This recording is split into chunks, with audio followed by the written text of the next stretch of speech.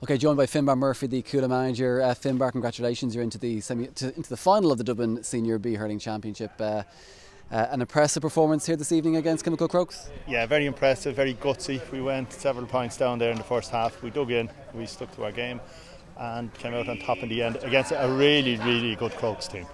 Yeah, it was a tight game for a large parts of it. Like you say, you did fall behind in that first half with that goal in the first half of Kilmacud Crokes only a point in it at half time, so you, you pulled it back before half time. Only a point in it with 15 minutes to go at the second half water break. That last quarter, though, you really pulled clear. Just the last quarter, we just dug in, um, and that, that's a, a, strong Crokes team who we played earlier on in the season, and both there's nothing in it between us. So just at the end, we were able to drive on um, and get over the line in the end with a goal ourselves, and that was the big difference in the end.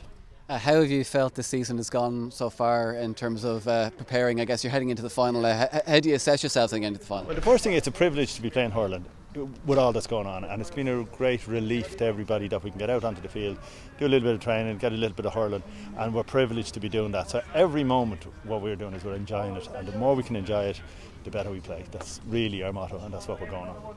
Obviously, the senior A team in, in action tomorrow, so uh, hurling is uh, obviously well uh, we've seen over the last few years hurling very strong and Cuala was certainly the same situation this year as well. Yeah, and it, it, it doesn't happen by accident. It happens from players' dedication, players' hard work, and players putting their mind and making decisions about their lives and different aspects of it to dedicate themselves to becoming the best player that they can. And that's really that's it's no secret. That's what they have to do to be that good.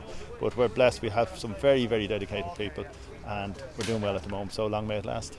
Um, it is St Finbar's Naomh Finbarr in the Dublin Senior B hurling final, which will be in a couple of weeks' time.